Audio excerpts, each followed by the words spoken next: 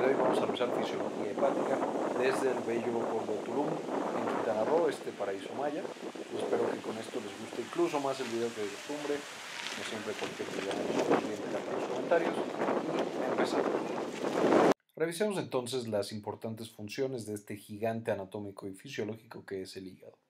Básicamente el hígado es uno de los órganos más grandes del cuerpo junto con la piel y el cerebro.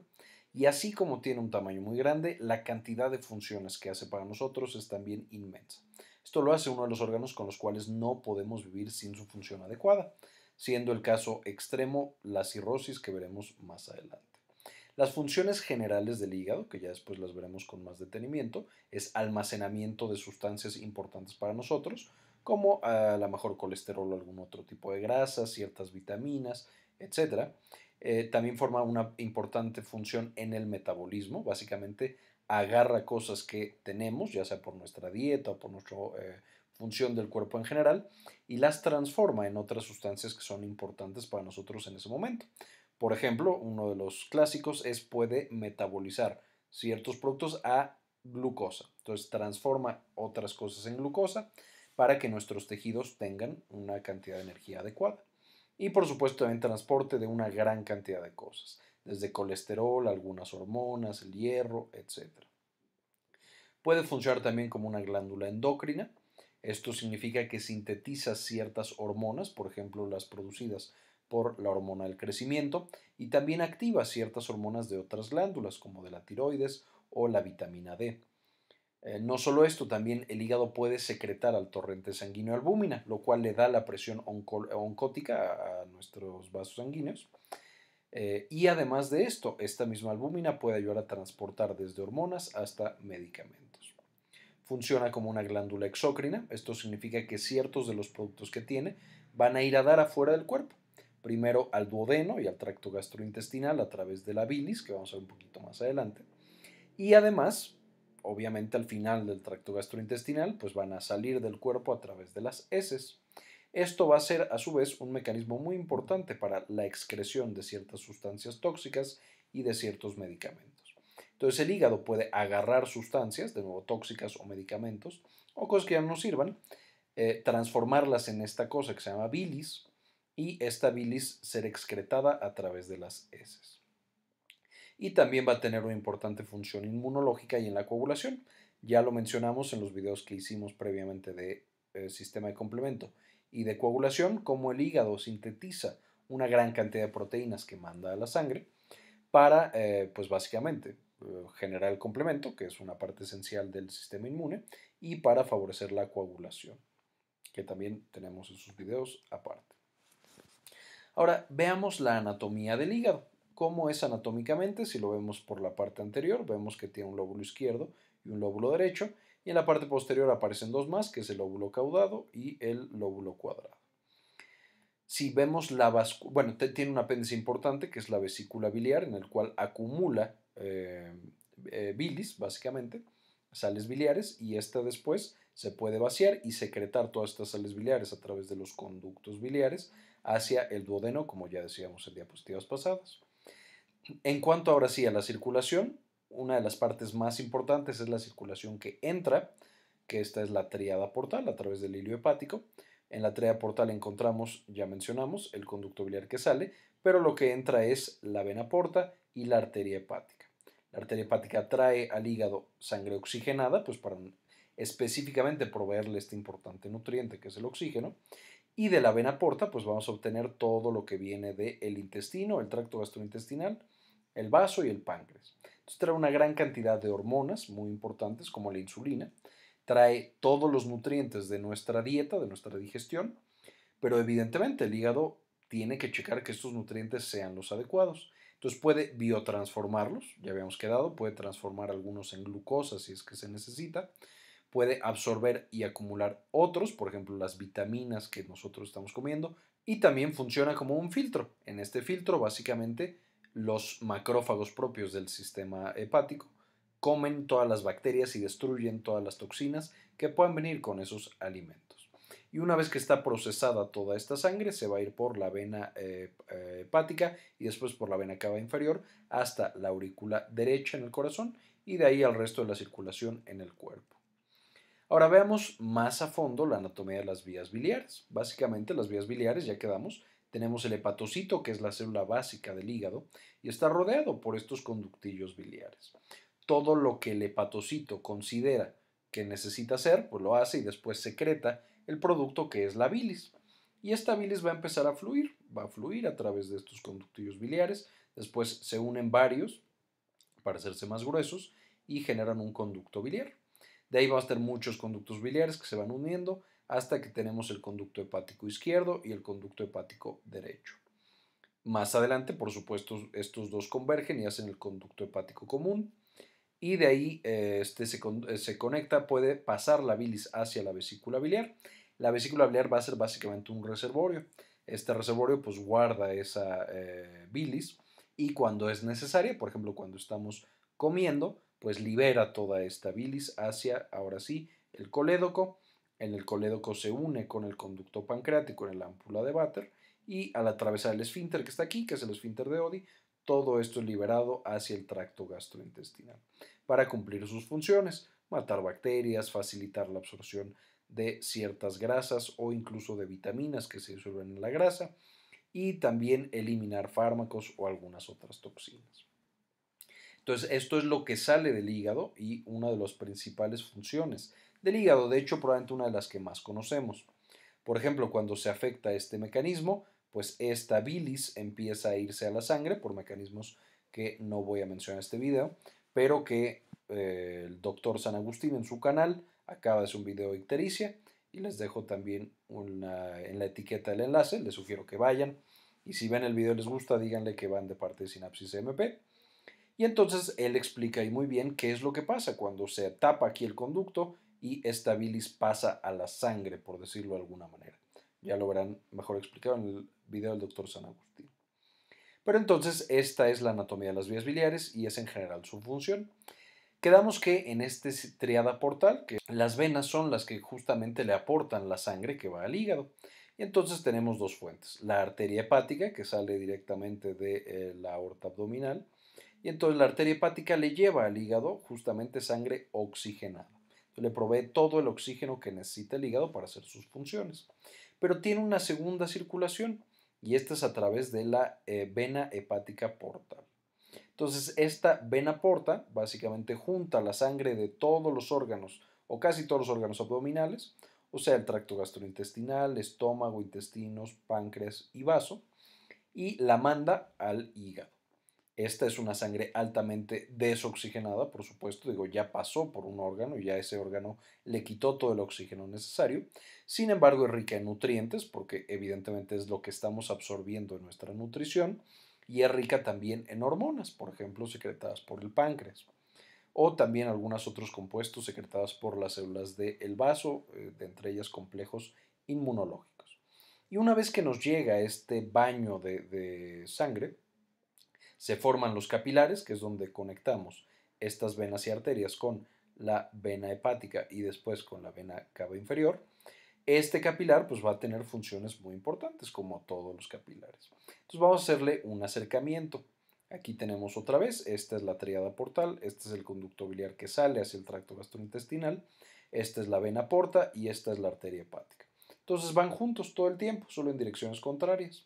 Estas van hacia el hígado, mientras que el conducto biliar se aleja del hígado.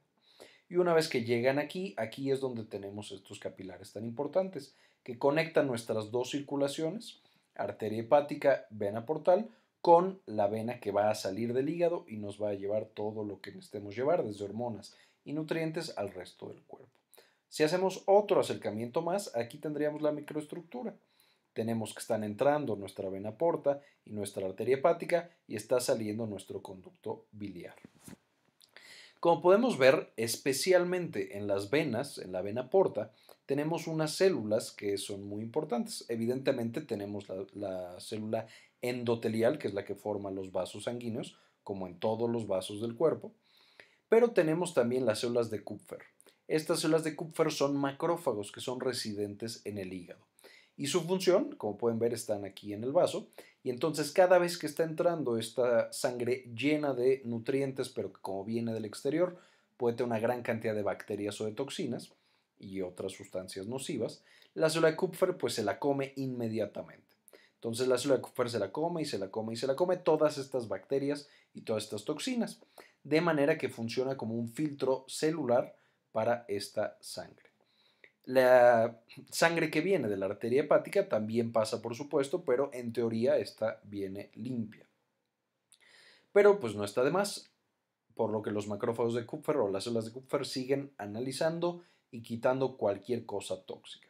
De manera que cuando llega a la vena central, en teoría ya no tiene bacterias y ya no tiene toxinas. Ahora, además, como pueden ver, tenemos nuestras células endoteliales que estarían todo aquí recubriendo nuestro vaso sanguíneo. Y después tenemos un espacio y después el hepatocito. Estas células de acá son los hepatocitos. El espacio que separa las células endoteliales del hepatocito se llama espacio de Dice. Y este espacio de Dice es muy importante porque le permite al hepatocito decidir qué va a ir al conducto biliar y qué se va a quedar en la circulación. Además, como pueden notar, en el espacio de Dice, o sea, entre el hepatocito y la célula endotelial, vamos a tener estas células que son las células de hito. Estas células de hito o células estelares, que tienen forma de estrella, tienen muchísimas funciones. Una de las más importantes es almacenar. Tienen estas gotitas adentro que se encargan de almacenar grasa muchos tipos de grasa y todo lo que la grasa conlleva, especialmente vitaminas que se disuelven en la grasa, las cuales son más importantes A, D, E y K. Entonces, estas células estelares tienen muchas funciones de almacenamiento, se, eh, se encargan también de la reparación muchas veces del hígado y cuando hay un daño crónico en el hígado, estas células pueden activarse y generar fibrosis en el hígado, siendo muy importantes, por ejemplo, para el proceso de cirrosis hepática. Pero bueno, además de la función de almacenamiento, quedamos el hepatocito, agarra la sangre, o sea, todo lo que está filtrándose por la célula endotelial, que tiene básicamente hoyos, y entonces deja pasar casi todo su contenido al espacio de Dice, y del espacio de Dice el hepatocito hace muchas cosas. ¿Cuáles son las más importantes? Pues elige qué cosas van hacia la bilis. La bilis está compuesta principalmente de eh, bilirrubina, colesterol y agua, entonces muchos de estos pasan a este espacio para irse hacia el duodeno. También estos hepatocitos, dependiendo qué tan cerca estén de la sangre oxigenada o de la sangre desoxigenada completamente, pues van a encargarse de funciones específicas. Esto hace que estos hepatocitos que tienen mucho oxígeno, pues pueden hacer muchas reacciones de oxidorreducción, mientras que los hepatocitos de acá, que les toca muy poquito oxígeno, pues no tienen tantas funciones de oxidorreducción y tienen otras funciones. Y esto es muy interesante porque es de los tejidos más importantes en los cuales la anatomía genera una especialización de nuestras células. Vamos a dividirlo entonces de esta manera, de manera funcional. Básicamente, si nosotros viéramos el tejido hepático en general, podríamos dividirlo primero en el lóbulo hepático clásico. El lóbulo hepático clásico es un gran conjunto de hepatocitos. Aquí tendríamos todos los hepatocitos. En un extremo tendríamos la triada portal, que es la arteria hepática, la vena portal y el ducto biliar. Estos dos se acercan a la vena central, mientras que este va hacia, o sea, su contenido va hacia el duodeno. Y entonces esto hace que en el centro de todos nuestros lóbulos hepáticos clásicos tengamos una vena central o una vena hepática, la cual va hacia el corazón. Entonces, estas dos, esta va hacia el corazón, estas dos vienen básicamente del abdomen, con todo lo que requiera metabolizar el hígado. Entonces, por aquí llegan nutrientes, llegan bacterias, toxinas, etcétera, pasan por aquí por una gran cantidad de hepatocitos hasta que llegan a la vena central y suben al corazón. Podemos dividirlo, si no es por el lóbulo hepático clásico, por un lóbulo portal. El lóbulo portal colocamos la triada portal en el centro y entonces vemos las vías biliares, de manera que toda la vía biliar de eh, los hepatocitos todos generan bilis y esta se va hasta converger en el eh, conducto biliar y entonces se va al duodeno. Y la tercera forma de dividir al hígado de manera funcional Básicamente lo que decíamos, si tenemos la arteria hepática aquí, los hepatocitos que están pegados a la arteria hepática tienen mucho más, mucho más oxígeno, por lo que esta es la zona 1. Esta zona 1, que es la más oxigenada, pues es la que va a hacer más reacciones de óxido-reducción. Vamos a tener la zona 2, que es básicamente intermedia, y la zona 3, que es la menos oxigenada, la cual va a tener ya otro tipo de reacciones. La zona 1 es la que está más pegada, por supuesto, al duodeno, por decirlo de alguna manera, y la zona 3 es la que está pegada a la vena central, a que de la zona 3 todo se va a ir hacia el corazón. Y dividiendo así por funciones, tenemos que la zona 1, sus principales funciones es catabolismo de aminoácidos, gluconeogénesis, degradación de glucosa, de glucógeno, perdón, ureagénesis, eh, síntesis de colesterol, oxidación de ácidos grasos y metabolismo oxidativo.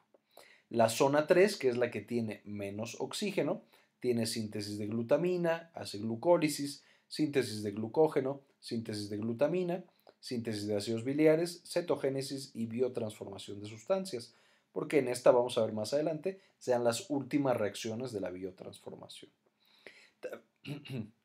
También esta división funcional es importante porque cuando hace falta oxígeno en el cuerpo o cuando hace falta riego sanguíneo, por ejemplo si tenemos sepsis o hipotensión o tenemos un sangrado muy importante, pues la zona 3, que es la que de manera basal casi no recibía oxígeno, es la más sensible a morir.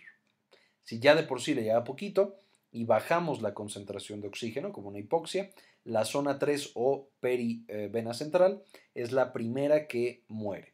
Mientras que la zona 1, que es la que está más cerca de la arteria hepática, es la que es más resistente al daño.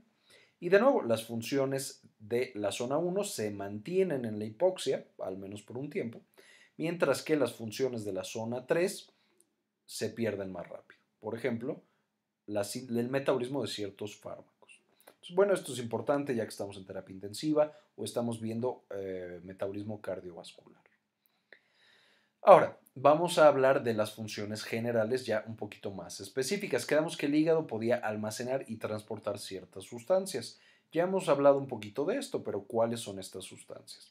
En las células de hito que aguardan esta grasita, pues también guardamos las vitaminas que son liposolubles. ¿Cuáles son estas? La A, D, E y K.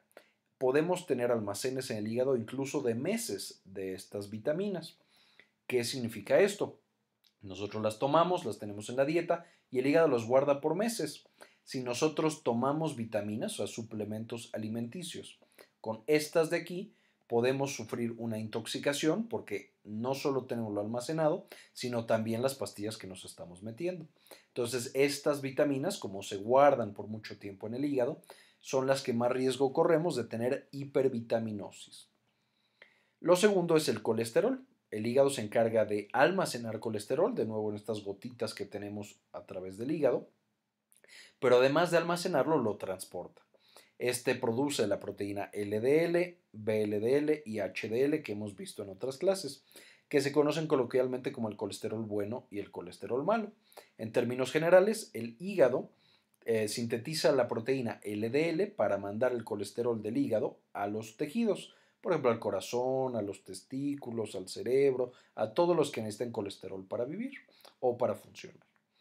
Y cuando sobra el colesterol, ahora se sintetiza también por el hígado la proteína HDL que va, agarra el colesterol y lo devuelve al hígado para ser almacenado. Entonces, no solo lo guarda, sino que también lo transporta a través de las proteínas BLDL, LDL, HDL, etc. Va a almacenar y transportar glucógeno y triglicéridos. En este caso es más bien almacenamiento porque se pueden transportar libremente y aminoácidos. También va a almacenar y va a liberar para que lleguen a otros tejidos. Por último, el hierro. Es una de las principales funciones del hígado. Todo el metabolismo del hierro puede sintetizar proteínas como la transferrina, que es la que va, agarra el hierro y la trae al hígado para ser almacenada. También va a tener eh, funciones muy muy importantes en el metabolismo energético. Básicamente el hígado puede tener un modo en el cual se activa cuando tenemos hambre y no hemos comido en un tiempo y un modo en el cual se activa cuando acabamos de comer para almacenar, metabolizar y luego liberar la energía dependiendo de lo que necesitemos. Básicamente es un buffer metabólico y un buffer energético. Es muy complicado esto, lo vamos a ir viendo en muchos de los videos, pero básicamente Hablando de carbohidratos, el hígado puede almacenar mucha glucosa en forma de glucógeno y eh, esto es cuando acabamos de comer y cuando ya nos hace falta y tenemos hambre y no hemos comido en un tiempo, transforma el glucógeno en glucosa para liberarlo y nutrir a todos los tejidos, principalmente al cerebro. El hígado puede también agarrar ácidos grasos y transformarlo en cuerpos cetónicos para alimentar al cerebro y alimentar al corazón y que produzcan energía en forma de ATP. El hígado, cuando recibe de el, pasando ahora a los tejidos grasos, el tejido graso libera glicerol y ácidos grasos, básicamente. El glicerol, el hígado lo transforma en glucosa, de nuevo para nutrir al cerebro, y los ácidos grasos los transforma en cuerpos cetónicos para alimentar al cerebro y al corazón. Y por último, hablando de las proteínas, las proteínas, los músculos, por ejemplo, liberan sus proteínas y le proveen de aminoácidos al hígado. Estos aminoácidos los puede aprovechar el hígado para producir energía directamente en forma de ATP, para producir cuerpos cetónicos y alimentar al cerebro y alimentar al corazón, o para, em, bueno, hay digamos vías metabólicas más complicadas, podemos transformar el glucógeno en ácido pirúvico y en ácido láctico, para que después el ácido láctico lo transforme el hígado en glucosa y de nuevo nutrir a nuestros tejidos. Entonces, básicamente el hígado puede almacenar aminoácidos, carbohidratos y lípidos y puede también liberarlos, transformarlos para que los demás órganos, como el corazón, el cerebro, tengan energía y puedan sobrevivir cuando no hemos comido en un tiempo. De nuevo, esto ya lo vimos en algunos videos y lo volveremos a ver en más videos con más detalle porque es de los puntos más complicados e importantes del hígado tiene también una función muy importante en otras hormonas. Por ejemplo, las hormonas tiroideas tienen que ser desyodadas de, T3 de T4 a T3 para que tengan ya su acción completa en el hígado. el hígado básicamente aumenta la potencia de las hormonas tiroideas y hace que funcionen. Las hormonas esteroides, por ejemplo el cortisol y todas las hormonas sexuales, dependen de los transportadores que generan el hígado, la proteína fijadora de eh, hormonas sexuales, el cortisol también tiene su propia proteína transportadora que hemos visto en otros videos, etc. Sin estas proteínas, pues estas hormonas básicamente no funcionan. La hormona del crecimiento también tiene que llegar al hígado para que el hígado genere estos factores insulinoides o, estos son los que básicamente generan el crecimiento, no tanto la hormona del crecimiento, sino estos factores insulinoides que genera el hígado. También en el metabolismo de los carbohidratos es muy importante la función del hígado, de la insulina y el glucagón que secretan el páncreas, ya lo mencionamos en diapositivas anteriores, la mayoría llega al hígado, la mayoría de la función de la insulina y el glucagón tienen efecto en el hígado, casi el 80% de toda la insulina es destruida y después la que sobró, ese 20%, es la que llega al resto del cuerpo. De manera que el hígado controla de una manera muy muy fina la, la actividad y la concentración de insulina y glucagón que tenemos en la sangre, siendo esencial, por lo tanto, para el metabolismo de los carbohidratos. Y la vitamina D, esta tan famosa que es para mantener la densidad ósea, necesita ser hidroxilada por el hígado, si no, no tiene una función completa. De manera que esencialmente activa o acaba de producir esta vitamina eh, D ya completamente activada. El hígado tiene función de detoxificación, que es lo que mencionábamos. Nosotros tomamos un tóxico, idealmente no, pero también una pastilla. Y lo que le sucede es que una vez que pasa por el intestino, o sea, nos la tomamos, llega al intestino y se absorbe. Pasa por el sistema porta, por esta vena porta, llega al hígado. Y entonces el hígado es el primer paso del metabolismo. Este metabolismo va a tener dos partes dependiendo de la región. Uno, la fase 1 es la oxidorreducción. Esto, por supuesto, va a ser en la zona 1 de los hepatocitos, porque de nuevo es donde hay más oxígeno. Y entonces depende de las hormonas, perdón, de las enzimas citocromo P450. ¿Qué es lo que hacen estas P450? Agarran nuestro fármaco y le pegan básicamente especies polares, la oxidan, la reducen, la hidrolizan, etc. Esto lo que hace es que se vuelvan más hidrosolubles en algunos casos genera su activación, o sea, puede hacer que un profármaco, una medicina que no funciona, se convierta en una medicina que sí funciona. Un ejemplo clásico es, por ejemplo, la heroína, que una vez que pasa por el hígado se convierte en morfina y ya tiene su actividad completa. Y hay muchos, muchos fármacos que tienen este esquema. Lo otro que puede pasar es que como le estamos pegando grupos hidrosolubles y grupos polares, hay algunas sustancias que una vez que pasan por el hígado pueden ser eliminadas por el riñón. Lo segundo es, si no se eliminan por el riñón, por supuesto, que pasen a una fase 2. Esta fase 2 no depende de la oxidorreducción, no, no directamente, sino que es conjugación. Básicamente agarramos ciertos grupos y a través de unas enzimas llamadas enzimas transferasas les pegamos glutatión, sulfatos, glicina o ácido glucurónico. Estos eh, productos son muy grandes, tienen un gran peso molecular y son altamente polares. Esto usualmente inactiva todos estos compuestos, o sea, hace que ya no puedan llegar a la sangre, específicamente a la célula, y activar a los receptores o generar la toxicidad que tenían antes. Al ser ya inactivos, estos grupos tan grandes pueden ser eliminados por bilis o de nuevo eliminados por el riñón. Lo que favorecen es uno, dependiendo del producto, que se active el fármaco o dos, que se elimine cuando ya no lo necesitamos. De hecho, mucho de la ciencia que tiene sintetizar un fármaco es ver qué le va a hacer el hígado. A lo mejor queremos que un fármaco que dura muy, muy poquito vaya y sea activado por el hígado y entonces nos dura muchas, muchas más horas. O a lo mejor lo que queremos es que una toxina llegue al hígado, sea conjugada o sea oxidorreducida o hidrolizada y ya no tenga ningún efecto tóxico. Entonces hay que tener mucha consideración para lo que le hace el hígado a todos estos productos. Ahora, grupo hemo y bilirrubinas es otra de las funciones clásicas que de nuevo el doctor San Agustín explica en su video, pero básicamente cuando los eritrocitos viejos llegan al vaso, en el vaso son destruidos. Y al ser destruidos tienen tres compuestos separados que nos interesan. El primero es el hierro. Este hierro es reciclado porque el hígado, que sintetiza la proteína transferrina, la transferrina llega, agarra el hierro y lo lleva al hígado. Y en el hígado se lo pasa a la ferritina y ahí se almacena. Cuando queremos sintetizar nuevos eritrocitos, pues se agarra este hierro que estaba en la ferritina, se manda a la médula ósea y entonces tenemos nuevos eritrocitos. Para completar, por supuesto, el círculo, por eso es reciclaje. Además, en los eritrocitos tenemos la globina, que es una proteína grandota que va transportando cosas dentro del, o le ayuda al eritrocito en su estructura. Esta globina también puede ser reciclada a manera de aminoácidos en el hígado. Y por último tenemos el grupo hemo, o ya que le quitamos el hierro, la biliverdina. Esta es metabolizada también por muchas em, enzimas que veremos en un video posterior y se convierte en bilirrubina indirecta. Esta bilirrubina indirecta va por la sangre libre hasta que llega al hígado y en el hígado la transformamos en bilirrubina directa, la cual ya no puede andar libre por la sangre. Cuando se acumula la bilirrubina indirecta es cuando tenemos ictericia y nos ponemos amarillo y la bilirrubina directa va a ser uno de los componentes principales de la bilis que después vamos a secretar a través del conducto biliar. De nuevo, aquí tenemos la bilis.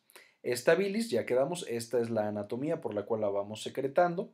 Entonces, una vez que tenemos la bilirrubina directa, le pegamos colesterol y agua y algunas otras sustancias y sintetizamos esta bilis. Va por aquí, llega acá, se acumula en la vesícula biliar.